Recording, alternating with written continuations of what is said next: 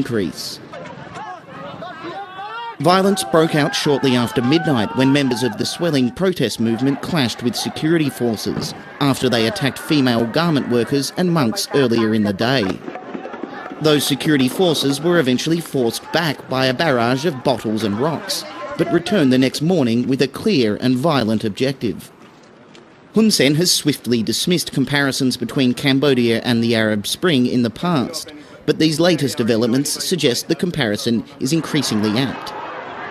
Daily opposition protests against his regime that have been waged with the promise they won't cease until he steps down have been bolstered by a now 11 day long garment worker strike.